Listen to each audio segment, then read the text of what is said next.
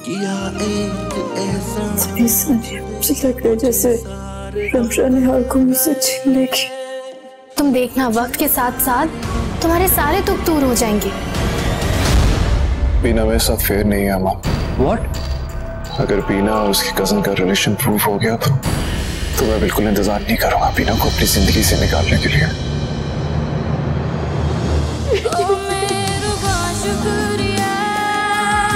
देखिए बनो कल रात सात बजे सिर्फ़ जियो पर।